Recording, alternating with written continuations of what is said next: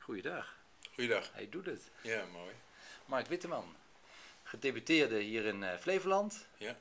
En eh, je doet een poging eh, bestuurder 2.0 eh, te zijn. Ja, al een tijdje. En Al dat leek me een leuk thema om, om het over te hebben. Ja.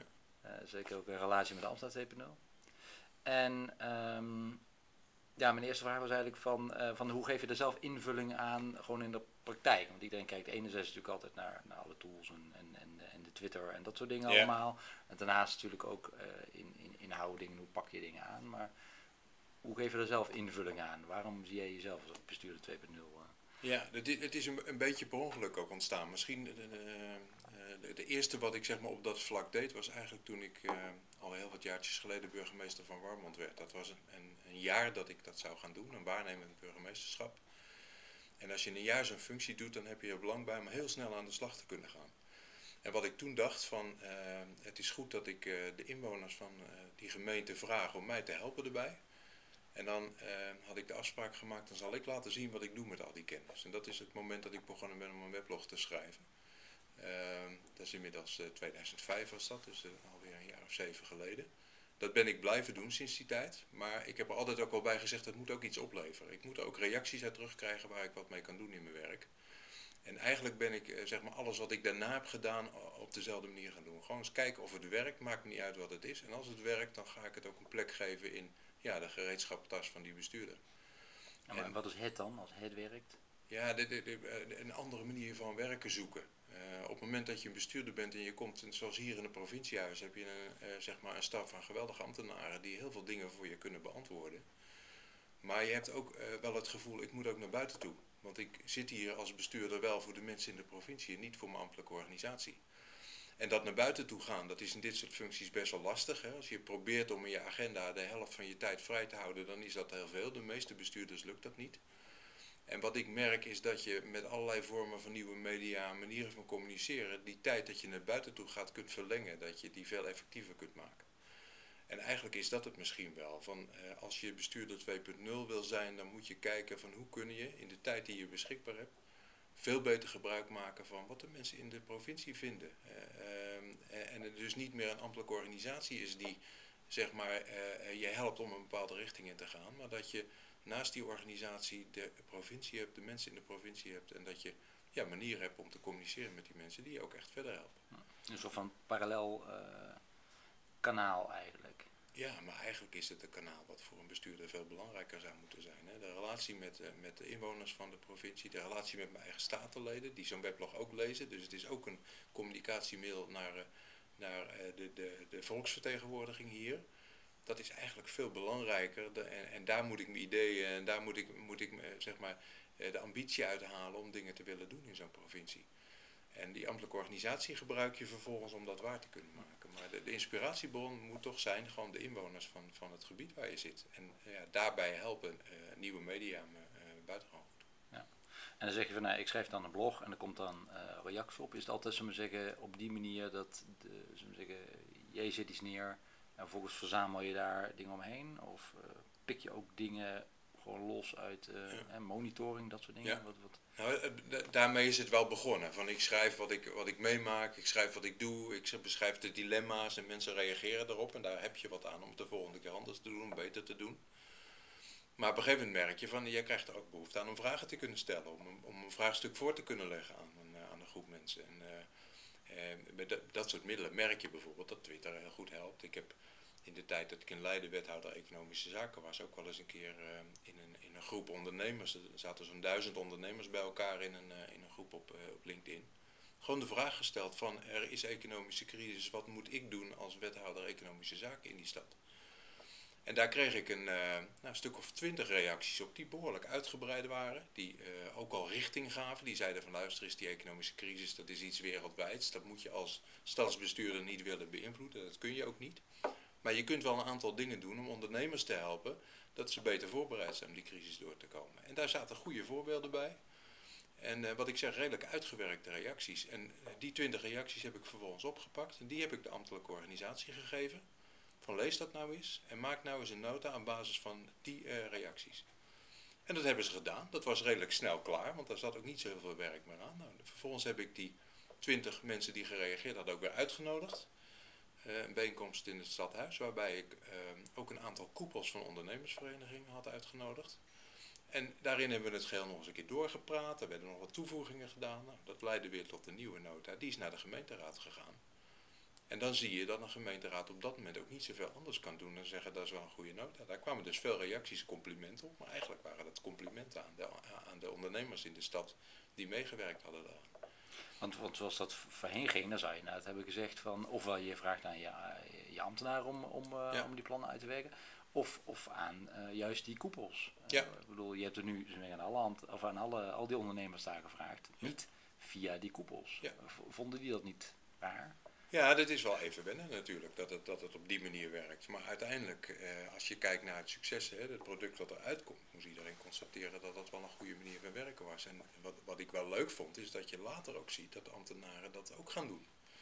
Ik zit hier nu uh, in Flevoland, ben verantwoordelijk voor de jeugdzorg. Jeugdzorg is ook een onderwerp waar heel erg gekeken wordt, hoe kunnen we meer met betrokken gezinnen doen, hoe kunnen we allerlei nieuwe technieken en nieuwe media benutten om het beter te doen. En zie nu dat ambtenaren hier na wat gesprekken die we hadden ook op deze manier bezig zijn om te kijken van hoe gaan onze zorgaanbieders erom, hoe uh, uh, krijgen ze dat voor elkaar. En, nou, ik merk zelf ook dat uh, als het gaat om de doelgroep, die jongeren, dat die me nu ook weten te vinden via Twitter. En dat die af en toe ook reageren en dingen aan me voorleggen met het verzoek om daar eens naar te kijken. Dat ga ik dan ook weer niet allemaal zelf doen, maar ik weet wel dat er een vraag komt. En als er een antwoord terug gaat, weet ik ook welk antwoord er terug gaat. Even, even nog dat uitsplitsen, even terug naar die, naar die ondernemers. Heb je ook het idee dat daardoor het speelveld in Leiden was dat een, in dit geval uh, veranderd is? Dat, dat uh, de ondernemersverenigingen misschien ook anders met de medewerkers omgaan? Ja. Of dat er vaker, uh, of, of leden zullen zeggen, of dat er vaker naar het, via dat soort groepen wordt gewerkt? Is dat speelveld veranderd in, in, in hoe de gemeente met ondernemers. Ja, dan, kijk, of je nou in een gemeente zit of een provincie, de kritiek die je vaak hoort is natuurlijk toch van die gemeente luistert niet naar ons. Die maken plannen waar we niet in betrokken zijn. En je ziet op het moment dat, het, dat je besluiten neemt die ingewikkeld liggen, waar veel discussie over is, op het moment dat je in de voorbereiding op deze manier te werk gaat, dat het dan eh, voor iedereen ook meer geaccepteerd wordt dat je dan daar uiteindelijk besluiten over neemt. Als wij nu zeggen uh, als provincie van luister eens, ondernemers in dit gebied vinden dit of dit een probleem en dat gaan we dus oplossen, dan kunnen we dat ook laten zien doordat we uh, zeg maar in, in de 2.0 manier van werken dat ook kunnen vragen aan mensen. Je kunt grote groepen vragen voorleggen en daar antwoorden op terugkrijgen en op basis daarvan je beleid maken.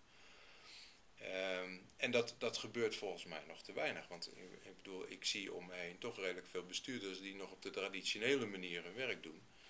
Um, die wel geïnteresseerd zijn in wat is er allemaal mogelijk. En af en toe ook wel naar je toe komen van hoe doe jij dat nou. Maar ja, dat heeft nog niet echt ingang gevonden. En je ziet zeg maar, aan de ene kant een ontwikkeling waarbij de ambtenaar 2.0 opmars maakt. Waarbij er hè, in het land heel veel mensen zijn die zich daarin verdiepen en daardoor een andere manier van werk zoeken. Maar waarbij er volgens mij nog steeds een hele grote groep bestuurders is die dat niet oppakt.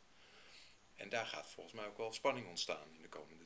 Als je nu de volgende slag wil maken, zul je moeten zorgen dat die bestuurder daar ook gebruik van gaat maken.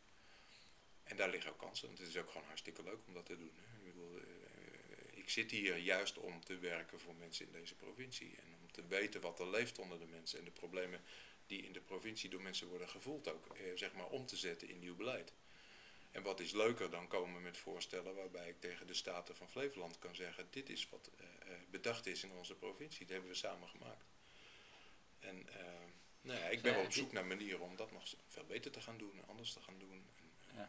Want dat geldt natuurlijk ook een beetje aan, aan, aan, aan burgerparticipatie en dat soort thema's. En uh, doet, doet Flevoland veel aan burgerparticipatie en aan nou ja, min of meer officiële trajecten waarbij burgers worden betrokken en, en al co-creërend. Minder dan de gemeente. Hè.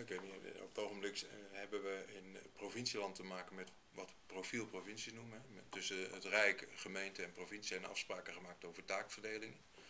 En daarbij wordt eigenlijk gezegd van taken waar je uh, veel met de burger te maken hebt, moet je zo dicht mogelijk bij de burger organiseren. Dus je ziet dat vooral de gemeenten zeg maar, in de positie zitten waar ze heel veel met de inwoners van de stad uh, communiceren. En dat de provincies veel meer aan tafel zitten met de, de, de, de professionals. Hè? Ik bedoel, en, bepaalde doelgroepen.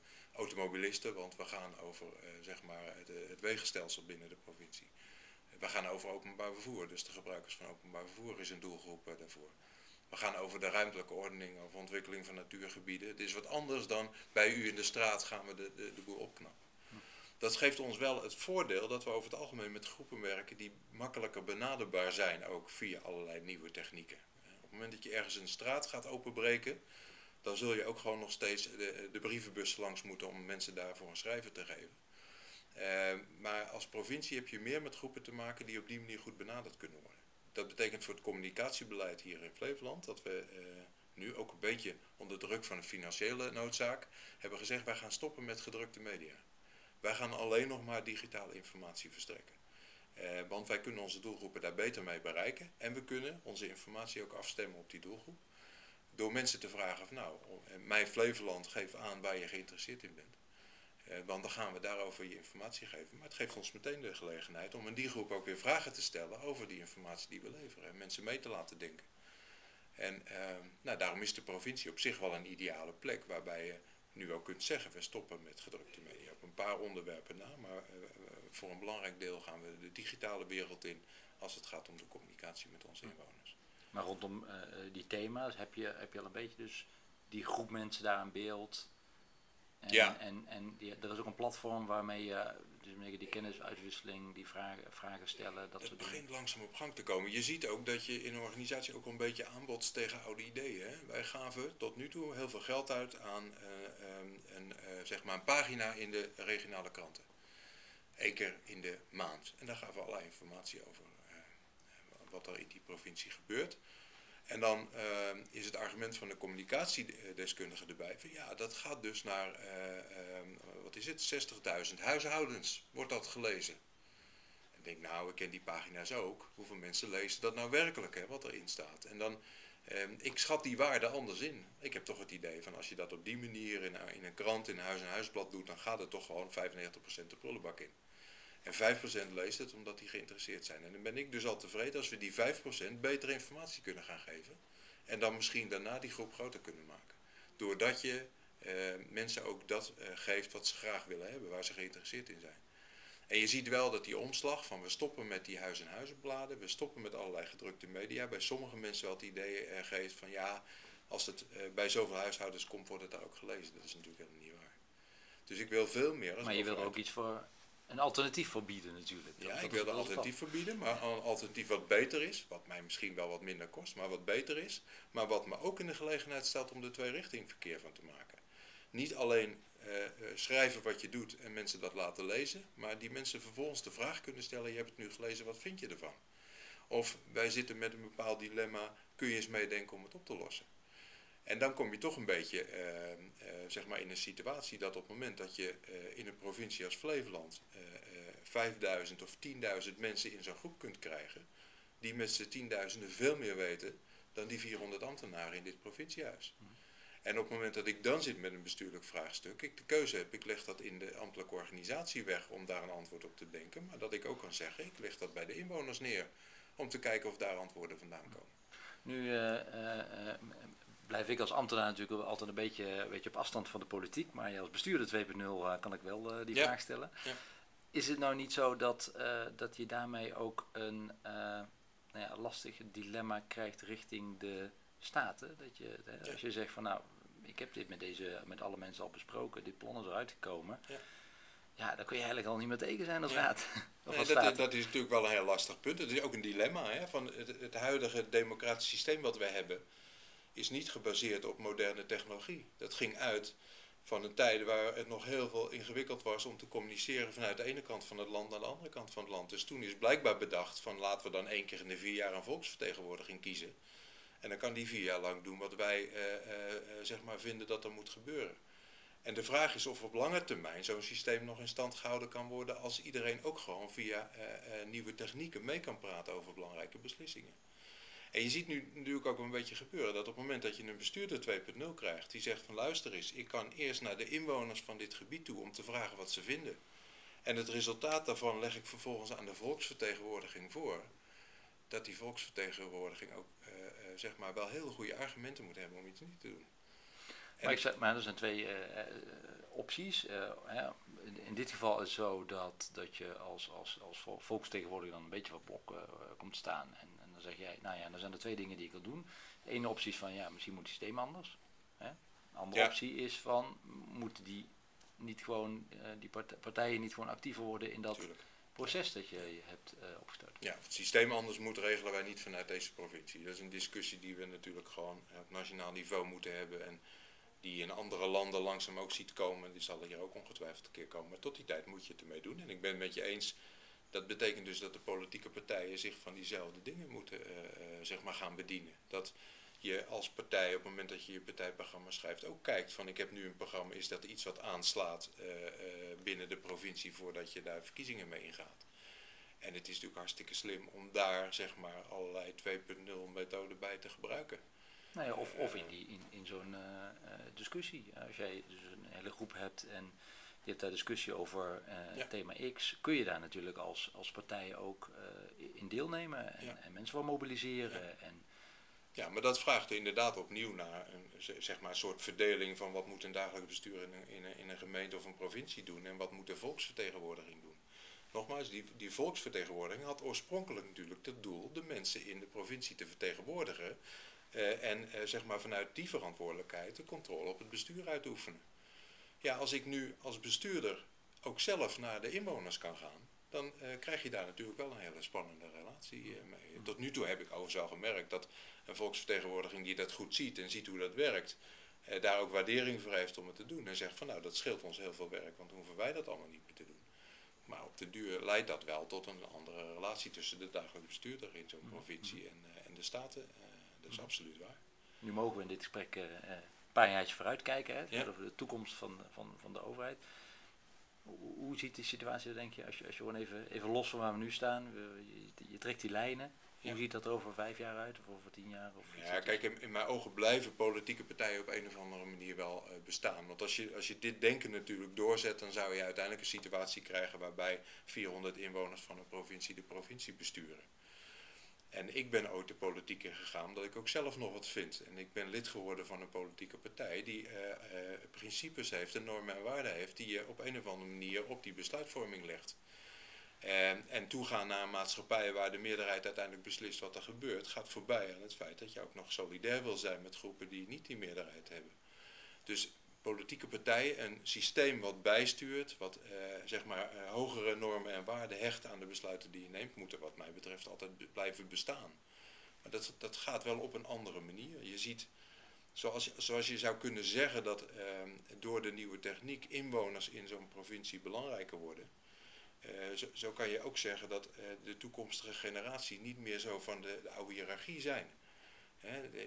Laatst hoorde ik iemand uh, verhalen over de generatie Z, de mensen die in 2020 op de arbeidsmarkt komen, die niet meer geloven in hiërarchische structuren. En wat wij natuurlijk in het openbaar bestuur hebben gebouwd, zijn wel die hiërarchische structuren.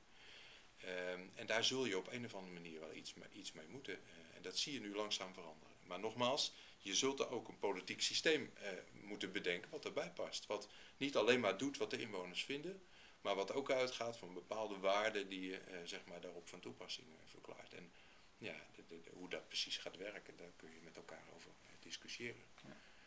maar die veranderingen zie je langzaam wel ontstaan. Je ziet het overigens in politieke partijen nu ook. Politieke partijen die ook hun standpunt voor een deel, of voor een groot of een klein deel, afhankelijk laat zijn van wat er elke dag in de peilingen gebeurt.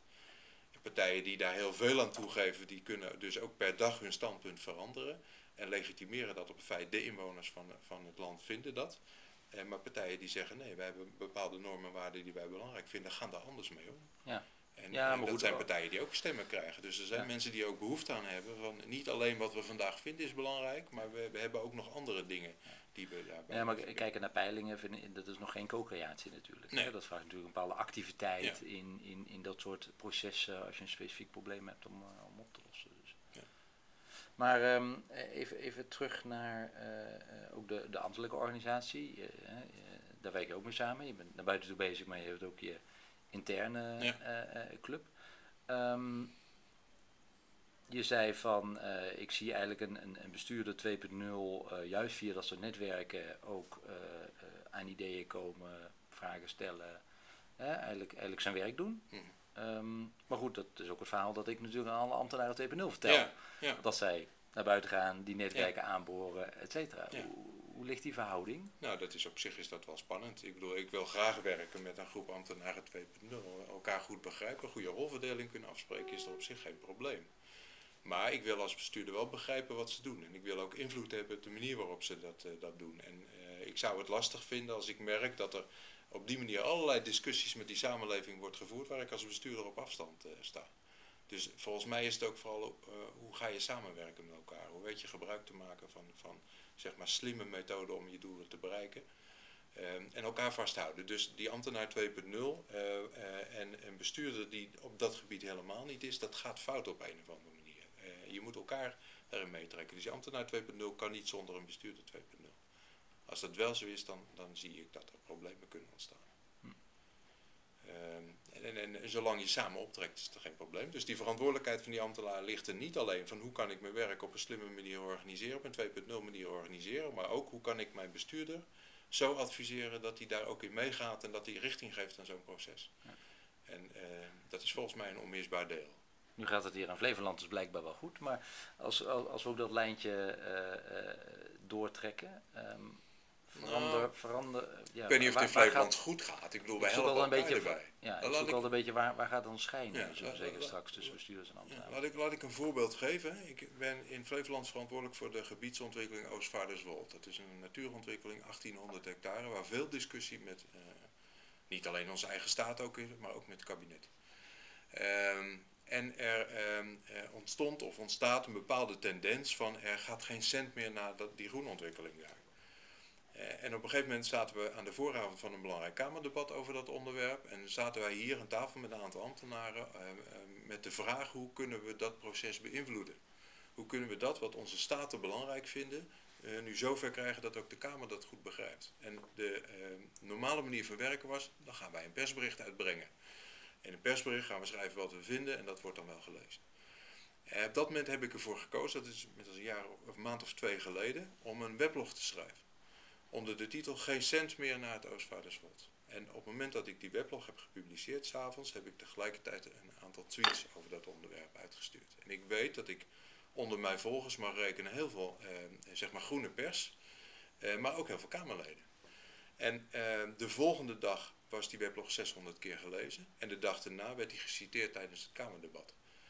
Uh, en vervolgens zagen de ambtenaren van hé, hey, dat is wel een aardig instrument om te gebruiken. Uh, dus niet meer dat oude persbericht, want daarmee hadden we nooit die impact voor elkaar kunnen krijgen. Maar nu een, een persoonlijk verhaal van een bestuurder wat hij op eigen titel heeft geschreven. Maar wat je samen hebt voorbereid, waar je weet dat de feiten kloppen, dat het ook verantwoord is wat je doet.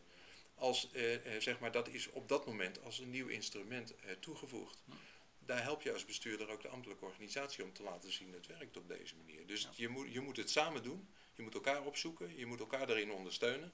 En in sommige gevallen is dat een bestuurder die de ambtelijke organisatie meetrekt, maar het kan ook andersom werken. Uh, dat samenspel dat is altijd belangrijk geweest in het verleden, dat zal ook in de toekomst. Vandaar mijn pleidooi, zorg dat je samen optrekt. Ja. Je kunt een bestuurder die nog helemaal op de, laten we het maar even noemen, ouderwetse manier aan het werk is, niet gaan ondersteunen met een bij uitstek 2.0 aanpak dan gaat er iets fout.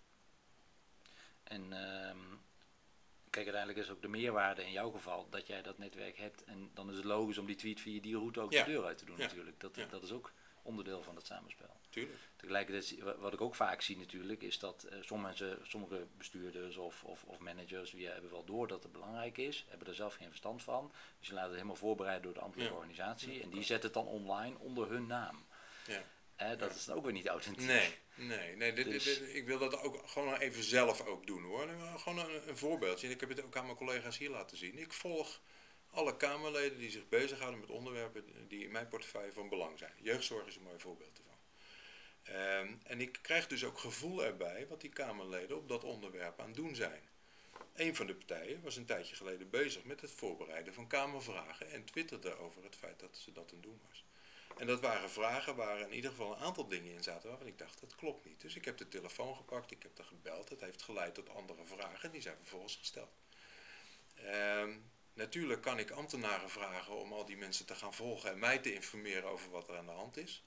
Maar ik ben zoveel onderweg, ik zit zoveel op plekken waar ik even zelf uh, uh, mijn timeline kan uh, lezen, dat dat veel sneller en veel directer is. En ik zelf dus nu ook het gevoel krijg, als ik een Kamerlid tegenkom, van ah, je bent dat en dat aan doen. En je bent met die en die onderwerpen bezig. En je bent voor een project wat ik aan het doen ben, of je bent er juist tegen. Dat, dat op het moment dat ik in Den Haag rondloop, me ontzettend helpt. En dat kun je niet vervangen door een ambtelijke organisatie te laten doen. Het enige waar je naar moet zoeken is technieken waardoor je dat ook heel snel kunt eh, doen als Ja, bestuurder. ja. En, en welke dingen vult de ambtelijke organisatie dan wel in dit soort zaken in aan? Want Nee. je zei net al van ja, ik kan niet reageren op elke jongere, zullen we zeggen, Ja. die mij een tweet stuurt. Zijn dat dingen waar... Ja, ja, ja, op het moment dat er, dat er vragen komen die wat ingewikkelder zijn, dan zet ik dat uit in de ambtelijke organisatie en zie ik ook welk antwoord er weer teruggaat. Maar, een voorbeeld, een aantal ambtenaren volgt mij. Eh, want het gaat dus ook andersom werken. En die zien dus ook van, hé, Witteman is dat en dat aan doen. Wat kunnen we doen om hem daarbij te helpen? Dus het, het werkt ook intern. eh, ja. Dat geldt voor een weblog, dat geldt voor Twitter, eh, dat geldt voor meer dingen. Het werkt ook intern heel erg goed. Ehm, en ehm, nou, daar moet je op die manier ook gebruik van maken. Je, je ziet dan, eh, intern hebben we Jammer eh, sinds, sinds een tijdje, dat werkt ook op die manier. Dus ik, ik zie ook, wat zijn ze in, binnen de organisatie aan doen allemaal? Welke projecten lopen er? Hoe gaat het ermee? Eh, als portefeuillehouder PNO is het goed om die voeling ook met de eigen organisatie te houden. Dus ook daar gebruik je die middelen weer voor. En het leuke is, op het moment dat je dat doet, dan zie je dat dat ook wel navolging krijgt. Want ja, je hebt binnen een organisatie ook nog een voorbeeldfunctie. Dus er eh, is nu een bestuurder die twittert, oh jee, eh, daar moeten we wat mee doen. En dan zie je binnen korte tijd toch zo'n organisatie zich langzaam aanpassen aan het feit dat dat gebeurt. En dat vergelijk ik met maar toen ik in 1998 wethouder werd. En er in het gemeentehuis nog geen e-mail was. En ik vervolgens zei van ik ga alles wat ik elektronisch krijg behandelen voordat eh, eh, dat postbakje wat er staat.